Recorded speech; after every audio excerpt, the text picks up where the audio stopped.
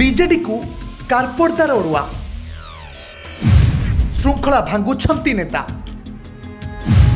ହାରିବା ପରେ BJD BJD ମଧ୍ୟରେ କଥା କଟାକଟି ବିଜେଡିରେ ବଢ଼ୁଛି ବିଶୃଙ୍ଖଳା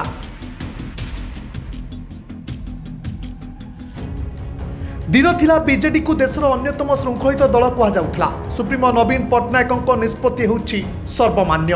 চব্বিশ বর্ষ রাজ পছরে কেবল নবীন হি লে এবে চব্বিশ নির্বাচনের চব্বিশ দিন যাইনি দল ভিতরে শৃঙ্খলা ভুষুড়ি পড়ছে জনে পরে জনে নেতা বাহারকু আসি মুহ খোলুচ্ছেন পরাজয়ের কারণ নেই দলের পোস্টমর্টম কমিটি গঠন হয়ে পুনি কুহযাচ্ছে নেতা ব্যানবাজি বা বিশৃঙ্খলা এ পছরে এক প্রমুখ কারণ সেপটে বিজেডি দুইটি গোষ্ঠী বিভক্ত হয়ে গলা যদিও সমস্তে নবীন পট্টনায়কঙ্কু নেতা মানুষ কিন্তু দলরে থিবা କାର୍ପୋଟଦାର ଗୋଷ୍ଠୀକୁ କେହି ଗ୍ରହଣ କରିପାରୁନାହାନ୍ତି ଆଉ ସେହି କାର୍ପୋଟଦାର ଗୋଷ୍ଠୀକୁ ଆଙ୍ଗୁଠି ଉଠାଇ ପ୍ରଶ୍ନ କରୁଛନ୍ତି ଏବେ ସୂଚନୀୟ ପରାଜୟ ପରେ କ୍ଷମତାଶାଳୀ ଗୋଷ୍ଠୀଙ୍କ ହାତରେ କ୍ଷମତା ରହିବ ନା ବରିଷ୍ଠ ନେତାଙ୍କୁ ଆଗରେ ରଖି ଦଳ ଲଢ଼ିବ ତାକୁ ନେଇ ଦ୍ୱନ୍ଦ୍ୱରେ ଅଛନ୍ତି ନେତା କୁହାଯାଉଛି ଏ କଥାରେ ସହମତି ହୋଇପାରୁନି ତେଣୁ ରାଜ୍ୟସ୍ତରୀୟ କମିଟି ଘୋଷଣାରେ ବିଳମ୍ବ ହେଉଛି ଦଳର ବରିଷ୍ଠ ନେତା କହିଛନ୍ତି ଖୁବ୍ ଶୀଘ୍ର ସୁପ୍ରିମୋ ଏ ସଂକ୍ରାନ୍ତରେ ନିଷ୍ପତ୍ତି ନେବେ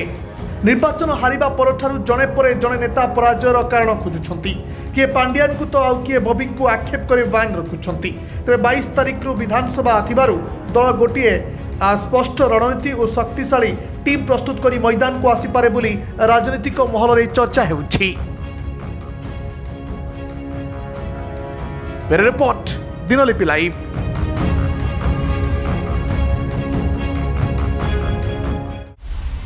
Dinalipi live को एबे ही लाइक शेयर सब्सक्राइब करूँ